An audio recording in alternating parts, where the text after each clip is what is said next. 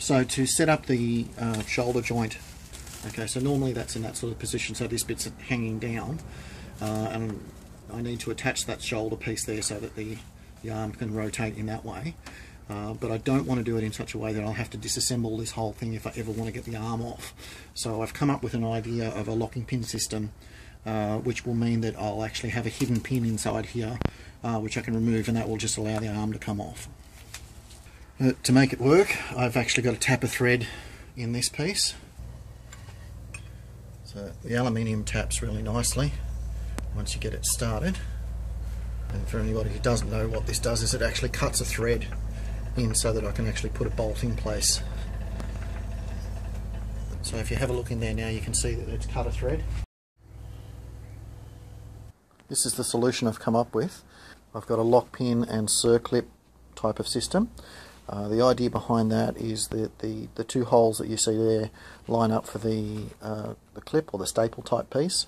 The hole runs through the center and the little notch that you see here uh, aligns with that clip and then stops the pin from coming out. So once I've got the pin screwed into place, uh, I've got a rubber spacer and that adds tension against the clip it's just a matter of putting that on and then lining up the clip to the notches. To, the, to do that I've got to put it some compressive pressure so that it compresses that rubber and locks it in place. Okay, that's been tapped down with a hammer so that it sits flush. But you can see that's that's essentially how it works.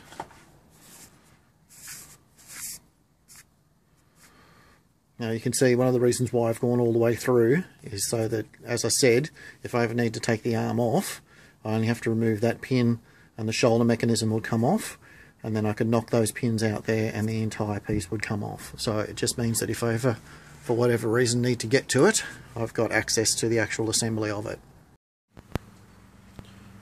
So that's a test with the eyes. I've got the one that has the lens in there next to the one that doesn't have the lens in there and I'm sort of leaning towards the one that doesn't have the lens in um, as the effect or the look that I'm going for. I just turn the lights out. So that's the effect in darkness. You can see the one without the diffusing lens is uh, a lot brighter. I'm kind of in two minds about which way to go, so if you've got comments on it, please feel free to, to comment. I'd like to know your opinion on it.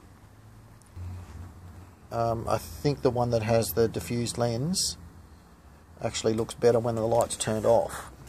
So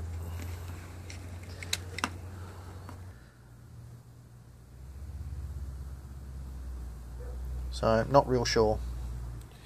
I do kind of like the diffused lens when the, the lights are off, but I'm not so sure that I like it when the lights are on. The one thing I do like about it is it tends to have a little bit more controlled uh, lighting, depending on where you're, you're looking from, uh, the light seems to be more consistent, tends not to wash out. Not real sure at this stage.